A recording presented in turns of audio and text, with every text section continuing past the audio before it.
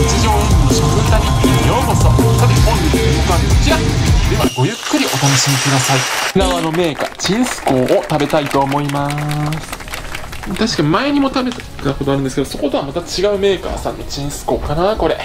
うーんといろいろな種類ありますね。なんか多分何も書いてないこれが一番シンプルなやつでなんかシークワーサーとか紫芋とかそういう風な沖縄らしいものもありますね。あとごま。紫芋。グワバ。これは沖縄なのか。あとここにごまとかバナナとか。あそうだ。チョコ。ピーナッツ。えー、っとあそうだ。黒糖もあったんだ。黒糖も沖縄ですね。どれも美味しそうです。それではまずはシンプルなやつからこんな風になってます。でははい。断面はこんな感じです。いただきます。食感同じでも果実が違うとまた違った美味しさがありますね。で自分の一番のお気に入りは？チャンネル登録よろしくお願いします。まずこのベースとなるチンスコーについてですがサクサクっとした軽い食感の後に甘さが口の中にふわっと広がってきて美味しかったです。細長いクッキーみたいな感じなんですけどそうサクサクの音がいいんですね。シンプルなやつでも十分美味しかったです。でこれをベースに考えていくと残りのやつがフレーバーの味がかなり強く出ていて美味しいものもあればんちょっとっていうのもありましたね。ちょっと数が多いので駆け足でいきますね。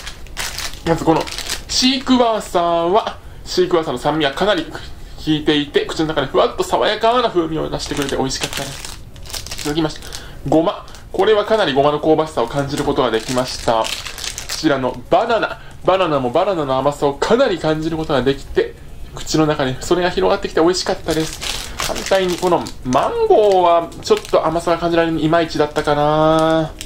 まあ、マンゴーのそこまで食べてるわけじゃないんで、もしかしたらあったのかもしれませんが、ちょっと自分の中では甘さは感じられませんでした。で、このピーナッツ。ピーナッツも香ばしさがしっかり感じられました。続いて、こちらのチョコチンスコ。これもちょっとチョコレートの味はあまり感じられませんでしたね。元生地自体が甘いので、苦めのチョコの方が良かったのかもしれません。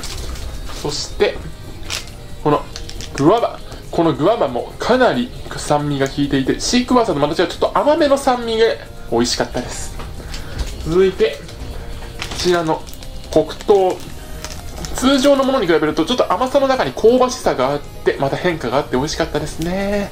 黒糖は白砂糖よりは体にいいのか、うん、そして最後になったこちらの紫芋。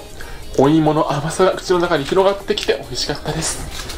うん。これとバナナとで迷うのですがやっぱりここは沖縄ということもありますし今回はこちらの紫芋を代表としてうん。とこちらの点数とさせていただきますはい沖縄のチンスコとっても美味しかったなん。かこういう風なアレンジの方法も書いてありますのでもし興味があれば皆さん。やってみてくださいそう